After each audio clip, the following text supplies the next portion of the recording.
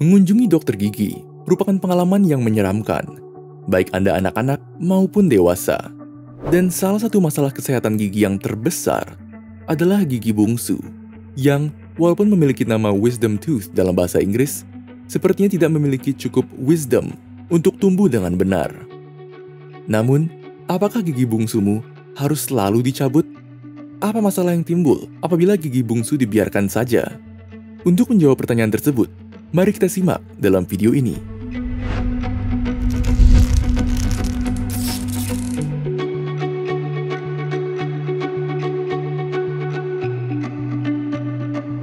Gigi geraham atau molar ketiga dikenal juga sebagai gigi bungsu karena merupakan gigi yang paling terakhir muncul. Gigi ini biasanya muncul pada usia 17 hingga 25 tahun. Di seluruh dunia, terdapat 22% orang yang tidak memiliki gigi bungsu sama sekali, dan 24% yang memiliki gigi bungsu bermasalah. Masalah utama yang dialami gigi bungsu adalah impaksi, yaitu ketika gigi bungsu tidak memiliki ruang yang cukup untuk keluar dari gusi. Penelitian telah menemukan bahwa penyebab impaksi gigi bungsu terkait dengan kecenderungan manusia zaman sekarang untuk makan makanan halus.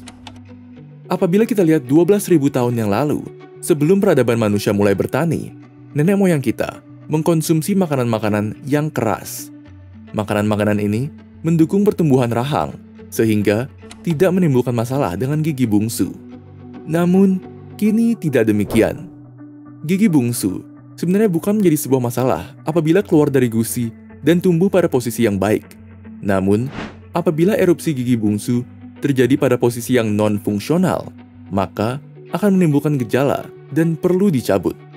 Gejala gigi bungsu akan terjadi apabila impaksi memiliki hubungan ke mulut.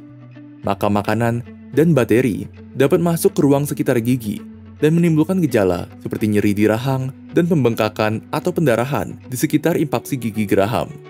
Jaringan di sekitar gigi bungsu dapat mengalami inflamasi dan keadaan ini dinamakan perikoronitis. Namun, banyak juga yang mengalami impaksi tapi tidak bergejala sama sekali atau asimptomatik.